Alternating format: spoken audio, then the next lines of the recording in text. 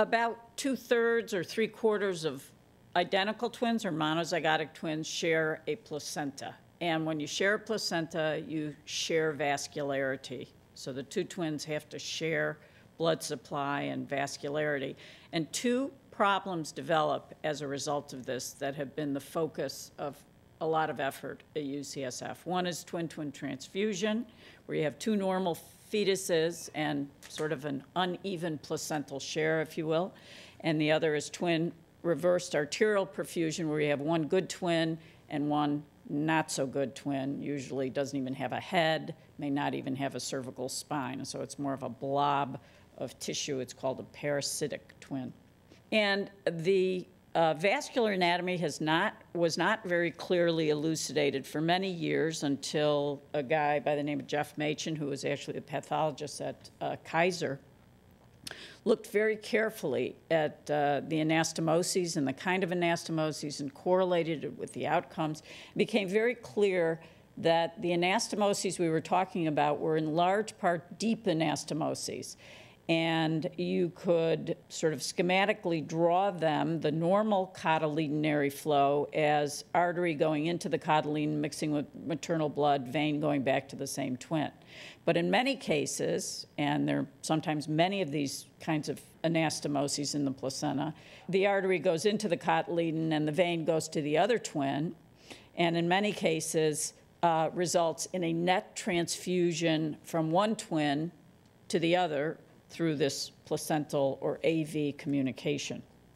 In addition, we recognize in about 80% of these monochorionic placentas, there are artery-to-artery anastomoses, which are more superficial anastomoses, in which the arterial supply of one twin to the other is quite immediate on the surface of the placenta. And uh, that is thought to be protective in many ways, but if there's co-twin death, it can allow sort of back perfusion into the dead twin's circulation and placenta, causing a co-twin or a hypoperfusion injury of the living twin, so-called uh, co-twin infarction, previously referred to as twin embolization syndrome. Now, twin-twin transfusion, where you actually get the net flow of blood from one to the other, occurs in about 10 to 20 percent of monochorionic twins. You get a recipient who has polyhydramnios and a big bladder, a donor who has oligohydramnios, is often stuck on one side of the uterus uh, wall, and untreated has a very high mortality. Well, you don't want one of these co-twins to die because of the possibility of sort of back perfusion and the ensuing deficits that result in the living co-twin. So you want to monitor these twins. And in fact, the uh, not all of the monochorionic twins that have some discordance in fluid actually have the frank twin-twin transfusion, and a staging system has been proposed, which we often use.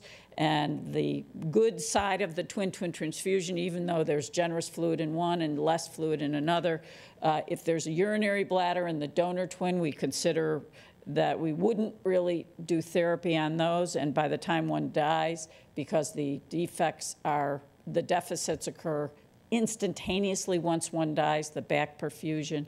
We wouldn't do any intervention on those. So it's really the ones that have profound polyhydramnios, profound oligohydramnios, in which the donor loses its bladder that we're talking about. Now, there are multiple other observations that we've made and we've learned are significant, but it's fundamentally the poly-oly absent bladder in the donor that uh, really we worry very, very much about. They've looked at how what kinds of anastomoses exist in these monochorionic placentas, and are there some that we can predict uh, would be associated with the twin-twin transfusion? And some of the monochorionic placentas have many AV communications. Some go in one direction, some go in the other direction. There are lots of AAs. Those twins usually don't get twin-twin transfusion. In some, there are fewer communications, so it allows the net transfusion to occur more readily. And when you look on the surface of the placenta, you can actually see these communications. So here you have an artery to vein communication. You don't actually see the communication, but you see the bluish artery and the reddish vein indicating more oxygenated blood. Here you have a normal AV communication. And right here you see the surface artery to artery anastomosis. Now, the interesting thing about learning about all these vessels in the placenta is you can actually see this stuff through the fetoscope.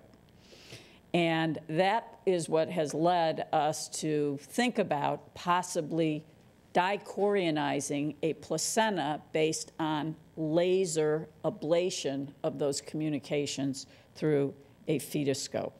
And this is sort of the uh, schematic plan, and I'll let Han Min talk to you about what we actually see during the surgery.